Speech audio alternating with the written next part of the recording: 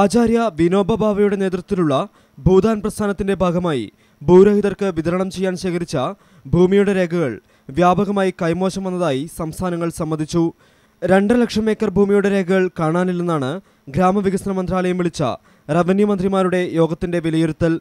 ഭൂമി കണ്ടെത്തുവാനുള്ള സർവേക്കായി പ്രത്യേക കമ്മീഷൻ രൂപീകരിക്കും.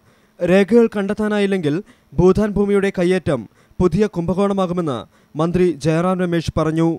पाँच लाख एकड़ के वादे किए गए हैं भूदान के संदर्भ में पर उससे मुश्किल से ढाई लाख ढाई लाख एकड़ ही अ, वितरण हुआ है यानी कि पचास प्रतिशत जो भूदान में कहा गया था കേരളത്തിൽ ഭൂതാൻ ഭൂമിയായി പ്രഖ്യാപിച്ച ഇരുപത്താറായിരത്തി ഇരുന്നൂറ്റി തൊണ്ണൂറ്റിമൂന്ന് ഏക്കർ ഭൂമിയിൽ അയ്യായിരത്തി എഴുന്നൂറ്റി എഴുപത്തിനാല് ഏക്കറെ വിതരണം ചെയ്തിരുന്നുള്ളൂ വിതരണം ചെയ്യാത്ത ഇരുപതിനായിരത്തി അഞ്ഞൂറ്റി പത്തൊൻപത് ഏക്കർ ഭൂമിയുടെ രേഖകൾ പൂർണ്ണമായും സർക്കാരിന്റെ പക്കലില്ലെന്നാണ് സൂചന രേഖകളില്ലാത്ത ഭൂമിയുടെ കണക്കെത്രയെന്ന ചോദ്യത്തിന് ഭൂരഹിതർക്കായി എണ്ണായിരം ഏക്കർ ഭൂമി കണ്ടെത്തേണ്ടതുണ്ടെന്നായിരുന്നു റവന്യൂ മന്ത്രി അടൂർ പ്രകാശിന്റെ മറുപടി. എണ്ണായിരം ഏക്കർ ഭൂമിയാണ് നമുക്ക് ആവശ്യമായി വരുന്നത്.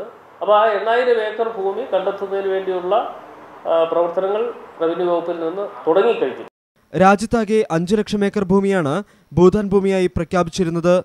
വൻതോതിലുള്ള കയ്യേറ്റമാകാം ഭൂതാൻ ഭൂമിയുടെ രേഖകൾ നഷ്ടപ്പെടാൻ കാരണമെന്ന് ചൂണ്ടിക്കാട്ടപ്പെടുന്നു. ഇന്ത്യ വിഷൻ न्यूडल ही